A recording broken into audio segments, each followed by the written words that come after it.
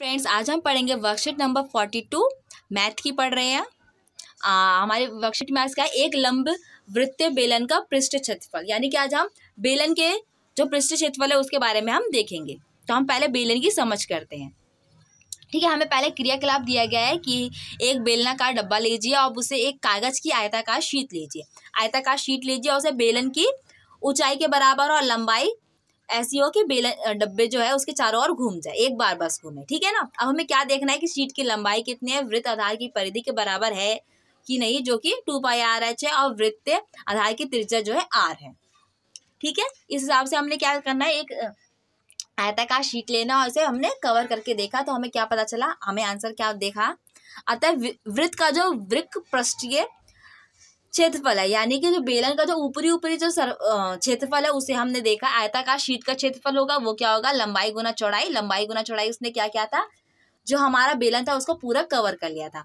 बेलन के आधार का परिमाप क्या होगा, मल्टीप्लाई में ऊंचाई, जो कि क्या होगा, टू पाई आर मल्टीप्लाई में ऊंचाई।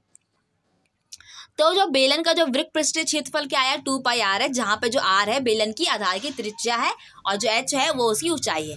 बेलन का कुल पृष्ठ क्षेत्रफल निकालने के लिए हम वृक्ष पृष्ठ क्षेत्रफल और दोनों वृत्त कार फलकों के क्षेत्रफल को जोड़ना होगा। यानी कि जब हमें बेलन का कुल पृष्ठ क्षेत्रफल निकालना होगा तो क्या करेगा एक तो बेलन का पूरा वृक्कीय पृष्ठ और साथ ही साथ जो ऊपर और नीचे वाले हैं, उन दोनों को भी जोड़ना होगा। तो पूरा निकाल के हमारा क्या आंसर आता है? टू पाई आर एच, जो कि हमें पहले निकाला था, और पाई आर स्क्वायर, और पाई स्क्वायर वो क्या होगा? जो हमारा गोला होगा, उसका क्षेत्रफल निकालने का ये सूत्र है। तो फिर हमारा पूरा आंसर क्या आता है? टू पाई आर ब्रैकेट में आर प्लस एच ठीक है?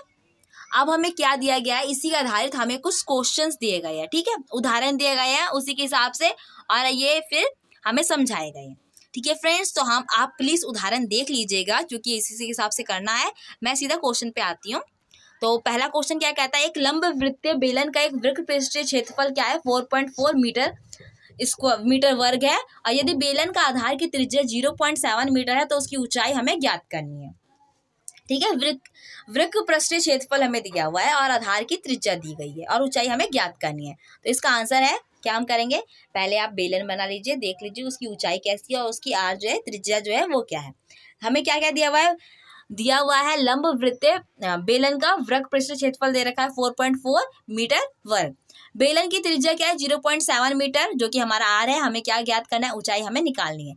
बेलन का वृत्त पृष्ठ क्षेत्रफल क्या होता है? टू पाई आर एच और वो पूरा क्या देगा? फोर पॉइंट फोर दे रखा हमें पहले ही। और इसको फिर हम क्या करेंगे? सबका मान लिख देंगे। टू मल्टीप्लाई दो बट्टा सात multiply zero point seven multiply में एच तो एच हमारा एच निकालने के लिए क्या करेंगे? सारी जो सारे जो वैल्यूज़ है उसको उस तरफ़ डाल देंगे, ठीक है? तो हमारा जो एच आया, वो हमारा क्या आया? हमारा एच आया वन तो जो बेलन की जो ऊंचाई है, वो क्या है? एक मीटर है, ठीक है? दूसरा क्वेश्चन देखते हैं। हमारा दूसरा क्वेश्चन क्या कहता है?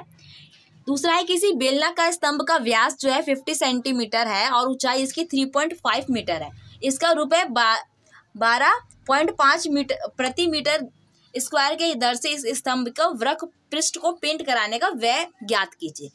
क्या बता रखा है? एक बेलनाकार स्तंभ है, उसका व्यास है पचास सेंटीमीटर, ऊंचाई है तीन पॉइंट पाँच मीटर। और इसको हमें पेंट कराने के लिए इसका जो रेट है वो क्या है? एक मीटर को वह है बारह पॉइंट पाँच। ठीक है? तो हमें इसका आंसर निकालना है कि आखिर हमें पेंट कराना होगा तो हमें कितना लगेगा। तो इसका आंसर हमें क्या क्या दिया हुआ है? पहले बनाइए आप अपना चित्र, फिर उसके बाद लिखिए। बेलन का व्यास दिया हुआ है पचास सेंटीमीटर और व्यास क्या होता है? व्यास को हम डी से लिखते हैं और त्रिज्या निकालने के लिए हम क्या करेंगे? आर आर इक्वल्स टू पचास बट्टा दो तो हमारा आएगा पच्चीस सेंटीमीटर और फिर मीटर में जब हम इसे बदलेंगे तो क्या आएगा? हमारा answer zero point two five metre हमें ऊंचाई दे रखी वो क्या है? थ्री पॉइंट फाइव मीटर आगे देखते हैं। बेलन का वृक्क के पृष्ठ क्षेत्रफल क्या होता है? टू पाई आर एच सबका मान लीजिए टू मल्टीप्लाई टू बट्टा सात ट्वेंटी टू बट्टा सात मल्टीप्लाई में ज़ीरो पॉइंट टू फाइव और मल्टीप्लाई में zero point three point five तो हम इसको, जब हम इसको हल करेंगे तो हमारा आंसर क्या आएगा? फाइव पॉइंट फाइव मीटर वर्ग।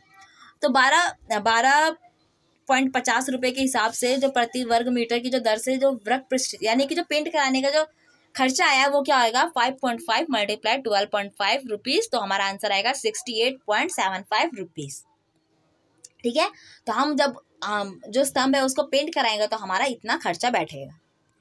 तीसरा क्वेश्चन देखते हैं। तीसरा क्वेश्चन हमारा क्या कहता है? कि एक रोलर का व्यास जो है वो 84 सेंटीमीटर और लंबाई उसकी 120 सेंटीमीटर है। एक खेल के मैदान को एक बार समतल करने के लिए इसे 500 चक्कर लगाने पड़ते हैं। खेल के मैदान का जो मीटर स्क्वायर में क्षेत्रफल में ज्ञात कीजिए, ठीक है? तो हम कैसे ज्ञात करेंगे? दिखाते हैं फटाफट से, हम निकाल लेंगे। तो पहले फिर से आप बेलन बनाइए, उसे देखिए कि आखिर हमारा बेलन कैसा है और उसका, उसकी ऊंचाई किसकी है और उसकी त्रिज्या क्या है। तो हमें क्या क्या दिया हुआ है? रोलर की लंबाई दी गई है, वो क्या है? 120 सेंटीमीटर। जो उसकी लंबाई होगी, वही हमारी क्या होगी? उसकी ऊंचाई भी होगी। तो हाइट क्या हो गई? 1.2 मीटर। ठीक है? मीटर में हमने इसे बदल लिया है। बेलन की त्रिज्या है एटी फोर अपॉन बट्टा में दो तो हमारा आंसर फिर आएगा फोर्टी टू सेंटीमीटर। और मीटर में जब हम बदलेंगे तो क्या? Zero point four forty two metre. एक चक्कर में रोलर द्वारा तय की गई दूरी, यानी कि रोलर ने जो एक चक्कर लगाया, उसका वो दूरी क्या बताएगा? वो हमें बताएगा बेलन का जो वृक्य पृष्ठ है, क्षेत्रफल है, ठीक है? तो वो क्या होता है? टू पाई आर एच होता है। अब सबका मान लीजिए two multiply twenty two upon seven multiply zero point four two multiply zero one point two. तो जब हम इसको हल करेंगे तो हमारा आंसर आएगा three point one six eight metre वर्ग। खेल का जो मैदान का जो क्षेत्रफल है वो क्या निकलेगा? हमारा 500 चक्कर में रोलर द्वारा तय की गई दूरी। यानी जो रोलर है, उसने जो 500 चक्कर लगाए, वो टोटल पूरा जो क्या बनाएगा, वो हमारे खेल के मैदान का क्षेत्रफल है, वो बताएगा। तो वो क्या होगा? उसे हम मल्टीप्लाई कर देंगे, गुणा कर देंगे। पाँच सौ multiply three point one six eight तो हमारा आंसर क्या आएगा? One five eight four metre वर्ग। ठीक है? तो ये हमारा क्या है? खेल के मैदान का क्षेत्रफल है। फ्रेंड्स यहाँ पे हमारा वीडियो कंप्लीट होता है। आपको वीडियो कैसा लगा प्लीज़ से बताइए इसे लाइक कीजिए कमेंट कीजिए शेयर कीजिए और आगे वीडियोस देखने के लिए प्लीज़ मेरे चैनल को सब्सक्राइब कीजिए। Thank you